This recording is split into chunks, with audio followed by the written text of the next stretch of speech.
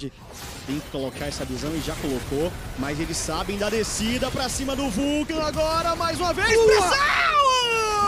O Croc garante o bate, chegada do Spire agora, ele vai tentar levar a eliminação, consegue levar agora o Celso, fica pra trás, consegue bastante dano e fica um por um na rota inferior. Conseguiram um bom abate de novo, de forma proativa, indo pra cima, gastando recurso, conseguindo as vantagens necessárias pra manter um jogo de alto ritmo, que é o que a gente vinha pedindo deles, enquanto o Team sem mana indo pra cima da Kali, mas tá confiante no seu matchup tá conseguindo se manter contra o adversário, mas tem que resetar. Tá precisando desse timezinho aí, enquanto o robô, rapaz... Cuidado. Não, vai jogando no limite, cara. Pois é, mas ele tá ali Tá traindo Tá 100% do boneco, meu amigo. Tinoz agora gasta o flash, Morreu, vem chegando Spired, vai pra onde? Tim. vai pra onde? Vai pra onde? Spired faltou mana pra eliminar. A jogada do Team foi maravilhosa, mas faltou o recurso.